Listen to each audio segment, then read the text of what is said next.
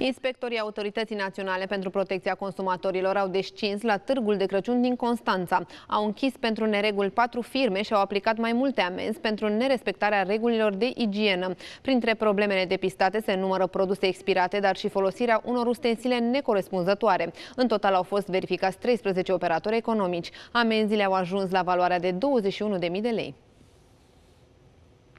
Nu există apă, cu toate că aceasta este obligatorie în momentul în care servești produse alimentare. Condițiile în care sunt depozitate alimentele aproape direct pe trotuar de asemenea sunt neconforme jucăriile și jocurile, tiribombele și toate cele de gen lasă nu numai ca aspect de dorit, ci ca și funcționalitate. Din păcate, jocurile alese nu sunt cele care să poată oferi, în afară de câteva beculețe, și siguranță. Alimentele gestionate sunt unele cu grad ridicat de periculozitate, pentru că porcul, carnea de porc ținută în condiții improprii, poate reprezenta un real pericol pericol. Toate acestea puse cap la cap m-au făcut să fac asocierea dintre ceea ce se dorește târg și ceea ce este de